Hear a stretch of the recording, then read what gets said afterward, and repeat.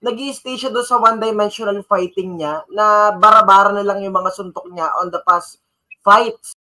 Powercast Sports. If you're new here, don't forget to subscribe and hit the notification bell. This content is presented by Arena Plus, Astigsa Sports. Ko yan si Winter. Siyempre. Good evening sa lahat. Ayun, si Winter. Winter, kamusta na? Sir Dream, Sir Joe Louie, tsaka Sir Pau.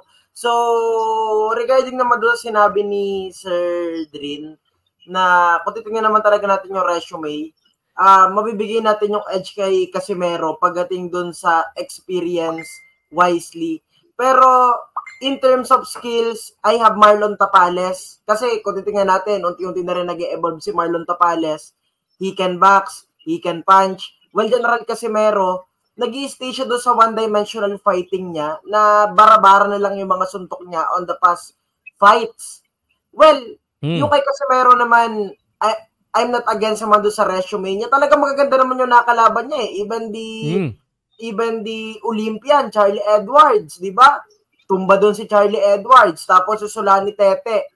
Well, yung Solani Tete naman, yung is the case naman doon kay Solani Tete. He, he is not the first, General Casimero is not the first guy to defeat Solani Tete by knockout. Because nagawa na rin niya ni Muruti M. Talani eh. Nagawa na rin niya ni M. Talani remember that fight, round number 5 lang yung inabot ni um, Solani Tete against um, Muruti Yam Talani.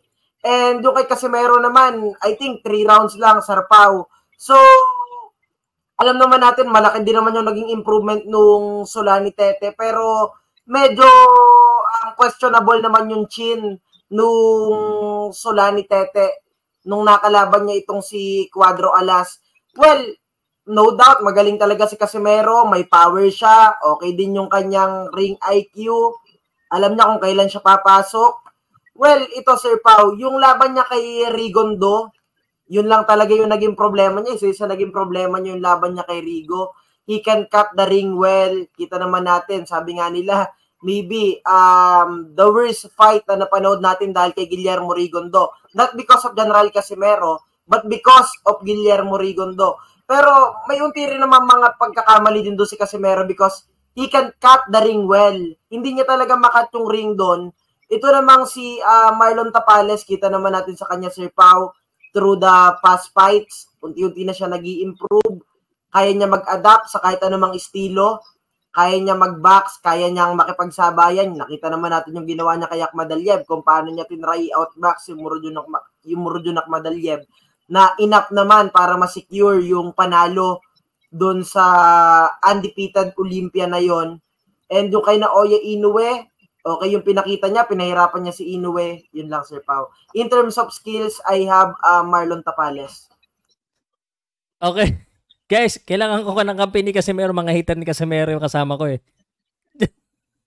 Ako, Boss Pao, i-state ko lang, i-state ko lang obvious, no? Doon oh, tayo sige. sa, kay, sa, sa talo nila. Sa buong oh. buhay ni Casimero, no, isang beses pa lang siya na-knockout. Si Tapales, three times? Okay. Totoo yan. So, Pero kasi meron ka dito. Kasi meron ka dito. Kasi meron ka dito. Yes. Yo! The nightmare yan, boss. The nightmare. Kaya nga sinabing the nightmare eh, di ba? Sir Pao, ano, ako, oh. ako neutral ako dito. Wala akong no. ano. Kasi yung parang alam mo tapales ka eh. Kanina parang tapales na tapales yung ano mo, eh, yung scripting mo eh. Sir Pau, di pa kasi ako tapos eh. Hindi, kasi nga, Kinakat nyo, gusto ko munang, gusto ko munang makita ang training camp nila. Kapag nagkapirma ng kontrata, gusto ko munang makita yung training camp. Dahil isa yan sa mga naging issue ni Casimero kaya nagkakaganito ang performance niya sa boxing. Although wala no respect kagaya wala, walang problema doon kagaya nga sabi ni Drin, yung mga mga pinagdaanan ni Casimero yung resume kakaiba yon. Then compared to Marlon Tapales. But what is ang pinag-uusapan natin yung present hindi yung past. Okay? So, titignan muna natin yung resulta ng ano muna after kung mag magkaroon ng kontrata, mag-deal man yung dalawa, kung ano yung outcome, Siguro, doon ko masasabi siguro yung ano kung saan ako papali. Pero both of them, masaya ako kung matuloy ito kasi para sa Pilipino.